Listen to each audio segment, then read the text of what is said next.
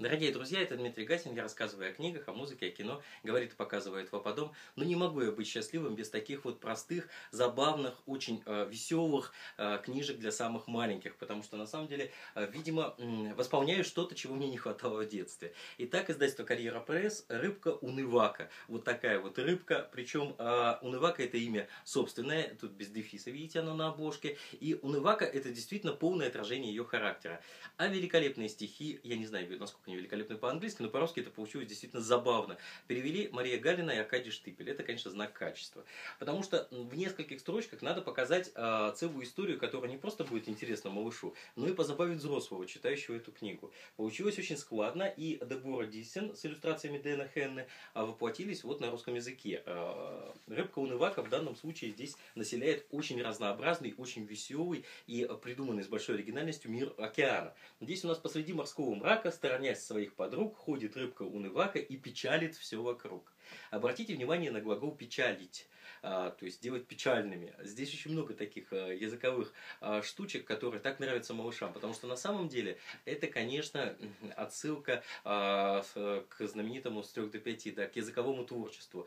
Дети придумывают глаголы существительные и как бы любые другие части речи на ходу в огромных количествах постоянно в игре или просто э, бормоча, потому что это совершенно э, естественно, да, творить язык. Собственно говоря, мне кажется, что детьми язык и двигается по-настоящему вперед. Детьми да поэтами. Но это старая мысль, не моя, конечно.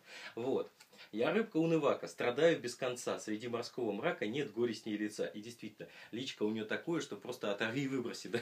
Здесь у нас изображена очень грустная рыба. Вот.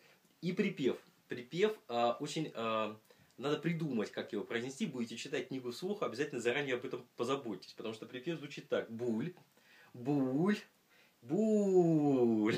И вот это у, оно очень хорошо передает вот это вот унылое у, которое написано на лице рыбы.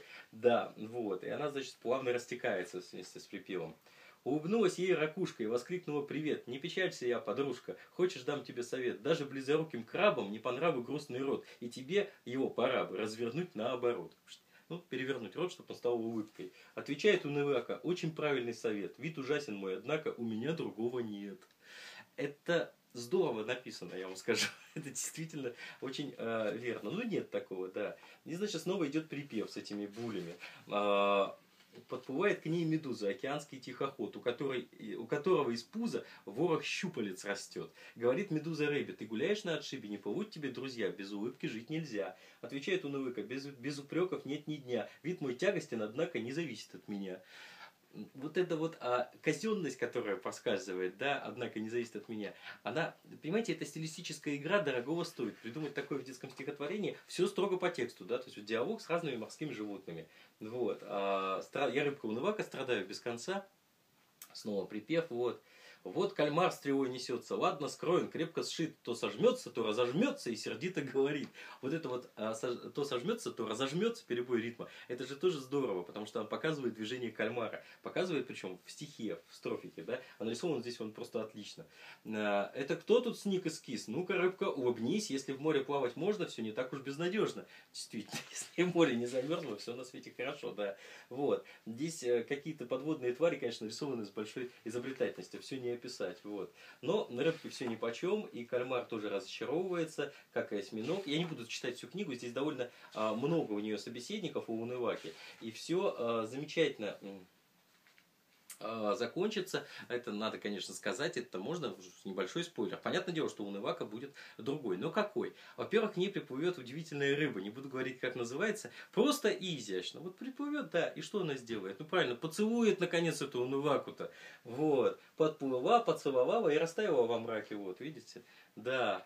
Обомлел наш Унывака, слезы брызнули из глаз, улыбнул Унывака, самый первый в жизни раз. Вот улыбнулся. И сказала наша рыбка, это прозвище ошибка, я теперь не унывака, целовака, улыбака. Вот это вот Салавака Улыбака меня просто покорило. Пройти мимо этой книжки я уже не смог, потому что это действительно те слова, которые а, придумал бы ребенок, если бы он мог вот а, сочинять такие истории, а дети и сочиняют многие такие истории и писать про них стихи. Вот. Это очень добрая, очень правильная книга, она помогает немножко расслабиться, когда ребенок капризничает, капризулит, как мы говорим с дочкой. А, она помогает немножко а, улыбнуться, когда плохое настроение, ну просто плохая погода, отменилась прогулка или еще что-то. И самое главное, эта книга ненавязчиво говорит о том, что нет особых причин расстраиваться постоянно. Да, что-то случилось, ну, э, что-то можно исправить, да, но вот такое вот быть рыбкой унывакой не хочет никто. Целовака улыбака, эти слова надолго вошли у нас а, в обиход в семье. Вот такая прекрасная рыбка унывака в стихах. Еще раз говорю, маленькие книги для самых юных, самых главных наших читателей всегда очень люблю и всегда о них рассказываю. Спасибо за внимание. Издательство «Карьера пресса».